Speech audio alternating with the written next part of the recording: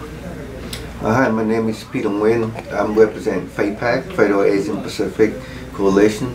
We are the membership makeup of all federal government employee, uh, Department, of, I mean, Department of Defense and DC government.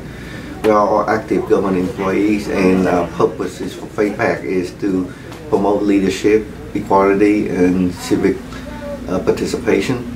One of our goal is, is that to bring up from the federal government perspective more employee engagement with activities that will enhance the AAPI for the future. And for the civic engagement, we have the annual leadership training conference every year across the country representing uh, all employees, all federal government, so how we gonna get them involved.